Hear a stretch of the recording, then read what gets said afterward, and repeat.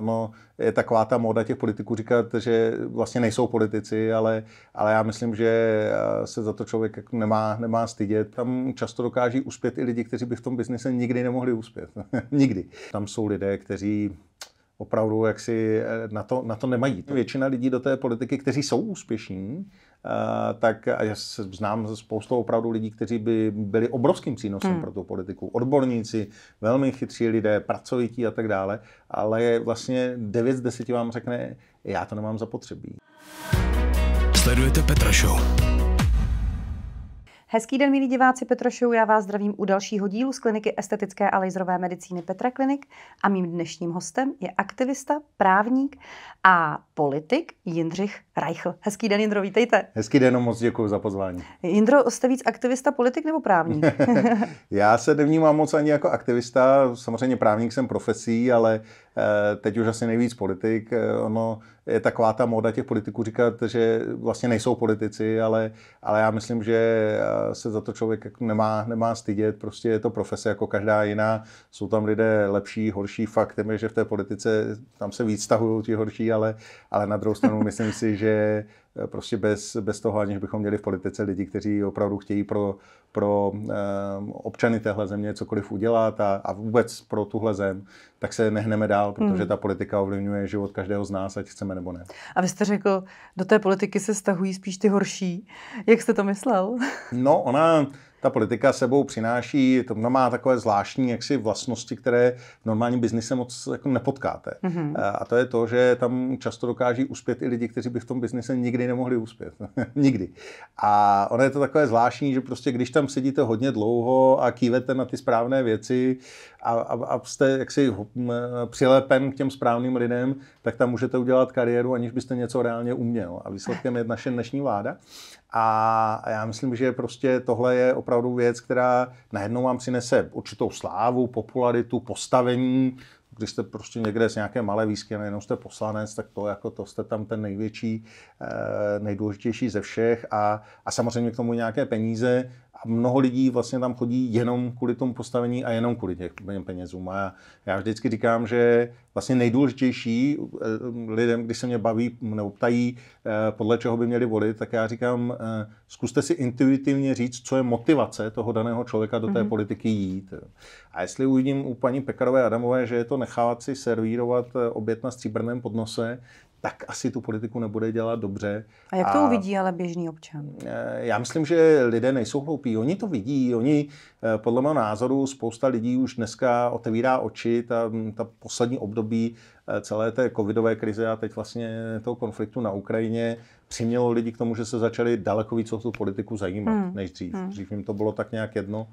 Ale v současné době si myslím, že se o to zajímají čím dál tím hmm. víc a vidí, že tam jsou lidé, kteří opravdu jaksi eh, na to, na to nemají. To, to, když se podíváte do vlády, když se podíváte do sněmovny, tak v drtivé většině jaksi opravdu normálních eh, podnikatelských sfér by se ti lidé neměli šanci uplatnit. A tak to je jasný, buď můžete být podnikatel nebo politik. Podle mě to nejde kloubit. Ne, ale oni, by, oni i kdyby nebyli politici, tak by se neuplatnili jako podnikatel. A, a kde máme teda vzít ty nové politiky, ty nové lepší lidi? No, ono je to totiž, to je, to je ta správná otázka, musím říct, protože vlastně většina lidí do té politiky, kteří jsou úspěšní, tak a já znám spoustu opravdu lidí, kteří by byli obrovským přínosem hmm. pro tu politiku. Odborníci, velmi chytří lidé, pracovití a tak dále, ale vlastně 9 z 10 vám řekne, já to nemám zapotřebí. Za prvý, protože by přišli o svůj biznis a o to, co o vlastně dělají dobře a ano, o soukromí. No. Ono, víte, jako já teď jsem si to prostě vyzkoušel a ono, když vám všude možně píší lidé urážky, nadávky, útočí na vaši rodinu, útočí na vaše známé, na, hmm. na, na vaše kamarády. To, že útočí na vás, to jako s tím se umíte vnitřně smířit, protože vy jste se pro to rozhodl, tak jako to berete, že to je nějaká daň za to, že jste se, že jste se pro to rozhodl. Ale když už se to dotýká vaší ženy, vašich dětí, vašich přátel, hmm. že prostě někde třeba máte nějakou, nějakou společnou aktivitu s někým, kdo vůbec se o tu politiku nezajímá, a on řekne, no k nám lidi nechtějí chodit, protože jsem jako s tebou, ty, tak, vlastně.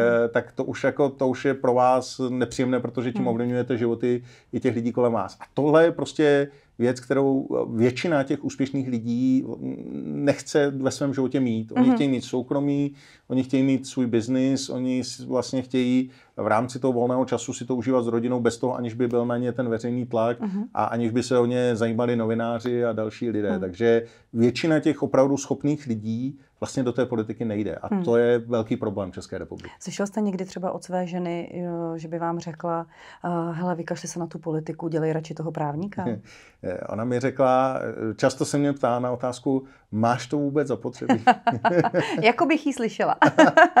Ale na druhou stranu já musím říct, že ona je, ona je opravdu poklad, ona mě podporuje eh, ve všem, co dělám a, a i ten tlak, který prostě je eh, na naši rodinu, tak zvládá naprosto bravurně, hmm. bych bez ní Eh, to vůbec ani ne, neexistoval. Ježíš, to je hezký, povídejte, povídejte. Udělejte jí takový krásný vyznání. Já, to, víte, já vždycky říkám s oblibou, že ten náš vztah eh, se dá eh, ilustrovat na jedné krásné anekdotě, kterou, kterou znám a dokonce můžu říct, protože ano. je slušná, kde Lady Churchillová s Winstonem Churchillem po parku v Anglii v Londýně a Lady Churchillová si všimne muže, jak zametá chodník a říká Churchillovi, Winston, ne? Tenhle muž se mi na univerzitě dvořil mm-hmm. a Churchill takhle zvedne bradu a říká, vidíš, mohla si být ženou zametače chodníků a přitom si manželkou britského premiéra. A ona se jenom usměje a říká, miláčku, kdybych si tenkrát vybrala jeho, tak byl dneska premiérem Anglie on.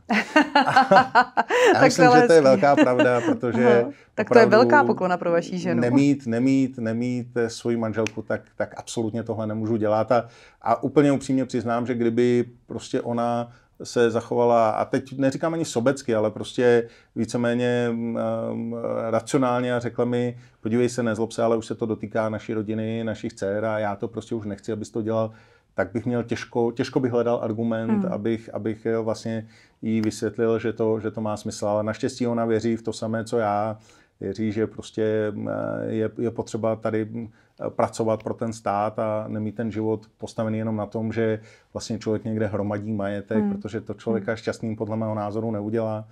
A já jsem si, já jsem si za život prošel spoustou, spoustou eh, životních lapálí a patálí a, a musím říct, že, že prostě v penězích, kdo hledá štěstí v penězích, tak je tam nenajde. To se, o tom jsem přesvědčen. Naprosto s váma souhlasím.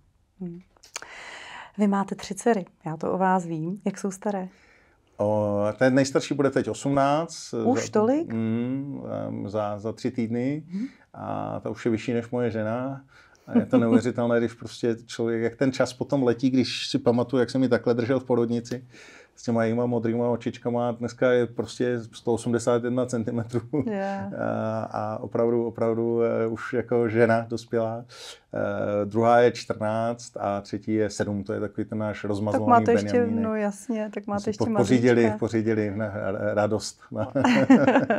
to je hezký. No. A takže vy přijete domů, máte tam čtyři ženský. Ano, a ještě Jak... Fenu. Jak to, jak to zvládáte? Eh, no úplně, úplně v pohodě, protože takhle člověk se musí umět jako od toho oprostit a, a zavřít uši občas. Počkejte, tak chcete říct, že vám vadí příliš mnoho estrogenu na jednom místě? Ne, ne, ne, já musím říct, že oni jsou všechny úžasní, ale, ale samozřejmě jako když se do sebe pustí, tak to je, to je, to je veselý. A teď jsem četl krásnou, krásnou větu, kterou často jako připomínám svým manželce, že, eh, že když má eh, žena dceru, tak to sebou nese daň v, eh, v tom smyslu, že je nucena diskutovat s mladší verzí sama sebe. Ano. Což vy jste z obliga, protože já to vím, Přesně já mám tak. zase tři syny, takže mě zase vyhovuje, že vlastně za prvý jsem doma vždycky nejkrásnější, pač nemám nikoho v konkurenci, to bych nedokážu si představit mít doma tři dcery, to bych neustále sledovala, eh, jaký je trend vlasový, co se nosí, co se nenosí a připadala bych si už takhle, už takhle u těch kluků. Nepřipadáte si někdy, že vám řeknu, tati, co to máš na sobě? Ne, jako musím říct, že holky to mi to tomu jako moc, moc neříkají a oni, oni mě znají, že já, jako nejs, já nejsem moc velký modeman, mě, mě vždycky manželka jednou za tři roky dotáhne do nějakého obchodu, tam mě nakoupí saka, košile, boty, všechno Aha. a pak už mě tam tři roky zase ne, nedostane. Že já jsem opravdu ten typický chlap, který je obrovsky stresovaný z toho, když se jde na nákup. Byste měl co jako, kupovat. Takže... No a sledují takhle třeba ženu jako v módních trendech, když jsou to vlastně, no. protože teď já jsem vlastně řekla tady tu větu, ale uvědomila jsem si, že vlastně moji kluci eh, jako prohodějí, když vidějí, že se jim líbí nějaký šaty nebo něco, ale jako víceméně spíš sledují samozřejmě ten pánský trend, že jo. A tak jestli ta děvčata u vás vlastně sledují spíše tu maminku, jak se oblíká a třeba víc jakoby uh, mluví o jejím oblečení, o jejím outfitu, než o tom vašem. Oni jsou, určitě, určitě ano, ale oni jsou každá, oni jsou každá jiná. Aha. Uh, Musím říct, že moje žena, ta je, ta je prostě fantastická v tom, že eh, ta prostě odpoledne dělá na zahradě eh, v nějakých kraťasech a večer jdeme do společnosti a je naprosto úžasná, krásná a, a myslím, že, že má jako velký eh, vkus, velmi mm-hmm. dobře vyvinutý vkus. Teď ta nejstarší, ta má takové to období jako Billy Eilish, mikiny a, jo, a kalhoty, jo. který, který prostě jsou čtyřikrát širší než ty moje, že bych se do nich vešel já. Ano, to teďko jsou ty, my jsme stejně starý, já to můžu divákům prozradit, ale přesně moji synové začínají taky nosit ty, ty širokánský kalhoty. Já vždycky říkám, nemáš to moc úzký? A pak je, pak je ta prostřední, ta, ta je trošku víc na to, ta si, ta si jako na to potrpí. A ta nejmladší, tak ta je, ta je ta naopak prostě v těch sedmi letech, ta vždycky si namaluje něco šatičky, na obličeji a šatičky jo, a tohle. Tak ta, ta, si v tom, ta si v tom teď vyžívá. No. no, no tak ale svítějí vám oči, když mluvíte o těch svých čtyřech ne, ženách. To je, to je nejvíc, jako co člověk v životě má. A, a všechno ostatní vlastně. Víte, já, já jsem si zažil takové ty období, když jsem byl ve fotbalovém svaze a všechny ty období takové té jako kvazi slávy, že, že máte spoustu kamarádů, kteří eh, po vás něco chtějí a když jste někde nahoře, tak to, to jich máte spoustu. Když eh, potom ne, tak, tak najednou všichni zmizí a, a v podstatě ta rodina je smysl, smysl toho života a musím říct, že pro mě prostě jako manželka a tři, tři dcery, to je, to, je, to je to hlavní, pro co žiju, pro co se hmm. snažím něco tady ještě odvést a předat jim tu republiku v nějakém stavu, ve kterém třeba ji předávali naši rodiče nám. To je krásný. Ani nevíte, jak ráda bych tohle slyšela hm. od mého manžela. Hm. Tady jsou lidé, kteří, když se stane taková událost globálního významu, což celá jistě ta pandemie byla, a u lidí to vzbudí strach, tak eh, pro lidi, kteří jsou těmi takovými kapitány toho, toho biznesu, tak oni v tom nevidí ohrožení, oni v tom vidí příležitost. Hmm. My jsme v podstatě k té demonstraci sáhli proto, protože uh, už tam nic jiného nezbylo, protože v současné době bohužel žijeme v době obrovské lži, a ta Česká republika podle všech parametrů a kritérií, jak si jde opravdu dolů vodou, ty parametry, ty statistiky se vůbec neobjevují v médiích. My máme program, který je postavený na tom, že Česká republika musí zase začít znovu investovat peníze sama do sebe a do lidí. Realita toho, že jsme největším exportérem elektřiny. No to, to mi hlava nebere třeba no, tu elektřinu. A máme nejdražší elektriku na světě, no. tak to, to přece to je absurdista. Současná ekonomika v České republice funguje tak, že vlastně bohatnou těch pár jednotek hmm. vlastně kapitánů toho průmyslu, ale ne lidé. Mám rád hudbu, mám takovou jako eh, libusku, že mám nahrávací společnost jen tak, jen tak z legrace, a, ale produkuju, produkuju takovou jako R&B a rap. Sledujete Petra Show. Zeptám se vás, Jindro, uh, vy jste takový demonstrant. No, já bych, já, já bych eh, radši nedemonstroval. Vy jste takový poňukář, nebo jak se tomu říká? No, no. Vždycky něco vymyslíte, nějakou demonstraci, no, seženete, zvoláte. Kvůli, kvůli všemu, čemu jste třeba tam, demonstroval? Tam 100 000, no, v podstatě jenom za Českou republiku. My máme, původně to bylo samozřejmě v době covidu, tak jsme demonstrovali velmi eh, jaksi eh, proti těm restrikcím, které byly naprosto iracionální. Tady byl vyvolána obrovská atmosféra strachu, zbytečně. Eh, přitom a se není to, promiňte, že vám do toho mm. skočím, uh, já jsem zdravotník a v té době jsem i pomáhala mm. jako mhm. ve zdravotnictví jako dobrovolník a samozřejmě jako si říkám vždycky, že taky si říkám, jako, že spoustu věcí bylo zbytečně, věděli jsme to i mm. tenkrát, že, mm. ale to samozřejmě jsme nemohli vědět, že vlastně jakoby s odstupem času se to jako hodnotí jako jinak trošičku. No, no. ale víte, to bylo, já si, já si tu dobu pamatuju, protože opravdu jsem se v tom hodně angažoval mm. a tam už byly, tam už byly studie například velmi záhy, že lockdowny nepomáhají. Absolutně nepomáhají. Hmm. A ty, ty studie byly umlčovány. Hmm. Přitom byly prostě, to byly studie od profesorů z Univerzity of Stanford. To nebyly hmm. jako žádní nazdárci, kteří by si to někde sepsali. A ta média je vlastně potlačovala všechny ty studie, snažili se prostě, aby se to vůbec nedostalo k lidem. A to samé bylo s rouškami. Prostě v momentě, kdy vy vlastně vytvoříte těch lidí dojem, roušky vás zachrání, namísto toho, abyste jim dali skutečně racionální radu, co by jim mělo pomoct, tak naopak oni se na to roušky upnou, spolehnou a, a nedělají to, co by dělat měli. Hmm. A prostě přece od začátku, co svět tady, jako co jsme na světě, tak jsme se učili, že nejlepší ochranou proti jakékoliv viróze, včetně té nové covidu, je prevence, hmm. posilování imunity. Já, já jsem nikdy nezaznamenal, že by se udělala masivní kampaň na to, aby lidé brali vitamin C, vitamin D, aby, aby Potom už jo, v těch chodili. pozdějších No, fázích, ale to už no. bylo pozdě no. strašně. Jo.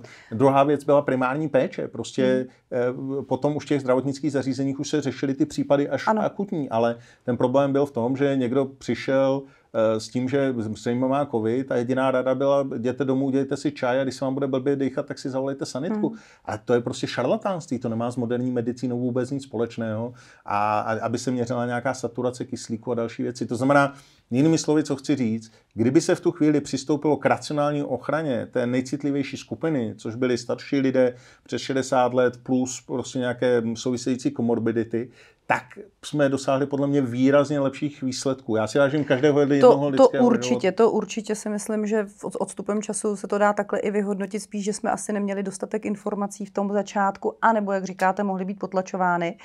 A, a domnívám se, že vlastně dneska už bychom se k tomu snad přistoupili jinak. No, doufám, že už žádný nebudeme muset být. Já si to nemyslím, protože vždycky vlastně tady jsou lidé, kteří, když se stane taková událost globálního významu, což celá jistě ta pandemie byla, a u lidí to zbudí strach, tak eh, pro lidi, kteří jsou těmi takovými kapitány toho, toho biznesu, tak oni v tom nevidí ohrožení, oni v tom vidí příležitost. Hmm.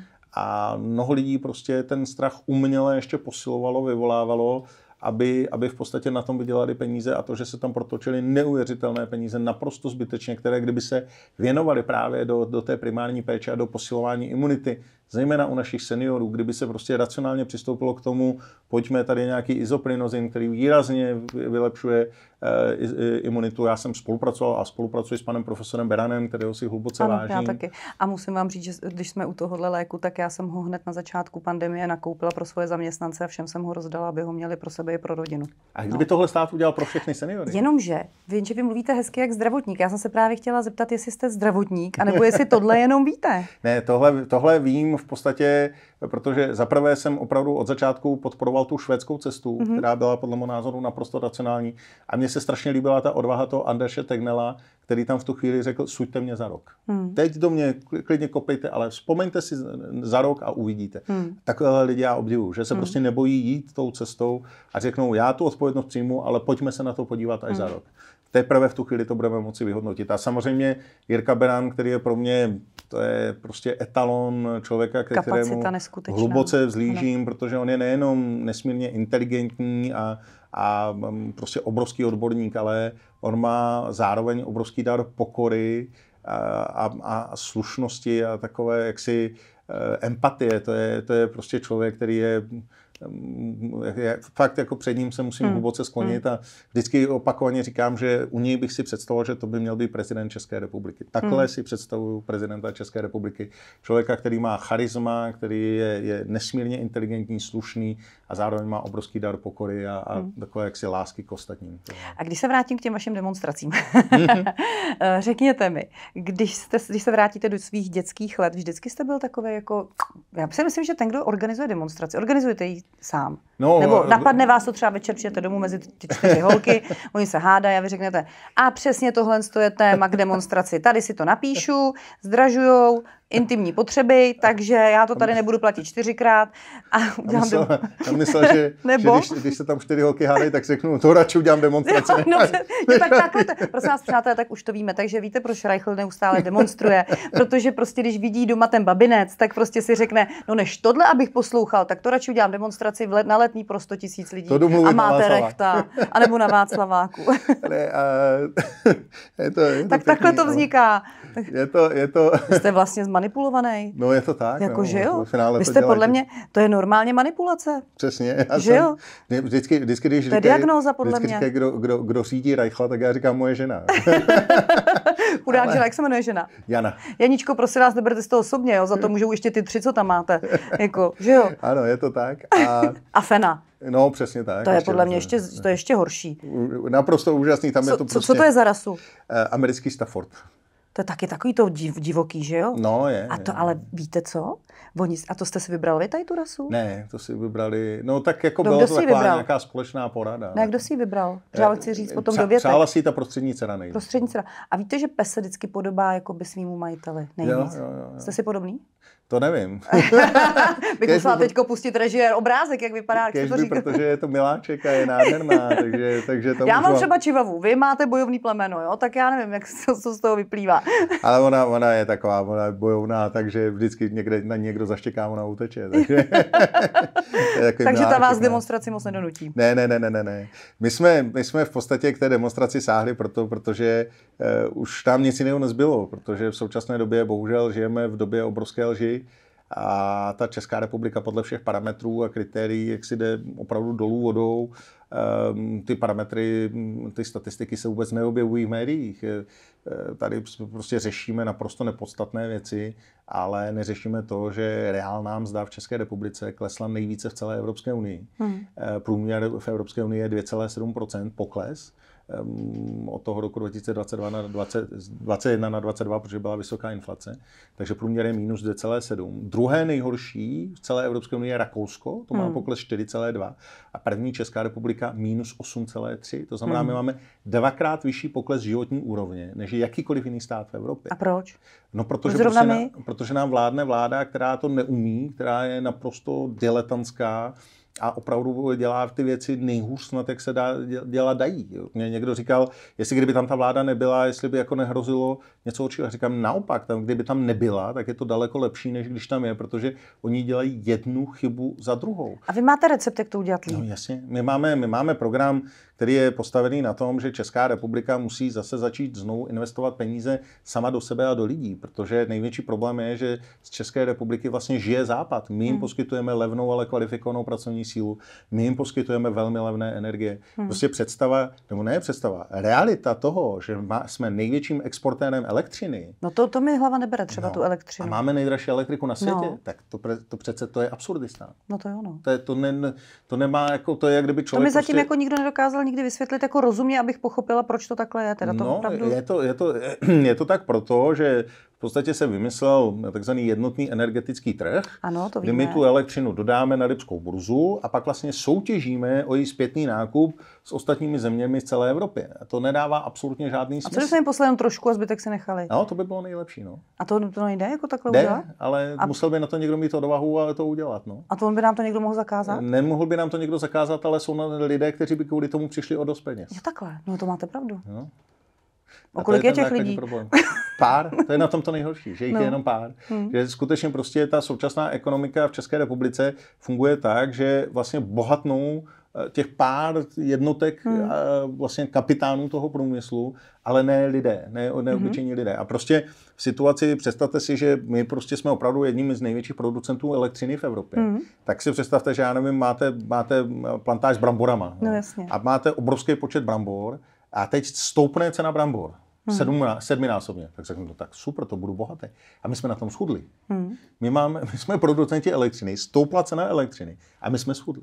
To nedává absolutně žádný Hmm. smysl a skutečně prostě ten trh v současné době je naprosto pokřivený a v podstatě vy jste to tady řekla úplně správně. Prostě my bychom měli tu naši spotřebu si udělat za naše výrobní ceny plus nějakou Hmm. přiměřenou maržičku A zbytek a prodat. zbytek prodat. No, bolestný. a z toho bohatnout. Hmm. Já, já vždycky říkám jeden příklad. Představte si, kdyby dneska, já nevím, země, které nejvíc bohatly v posledních 50 letech, jsou zcela jistě země, jako je Katar, Saudská Arábie a, a Emiráty.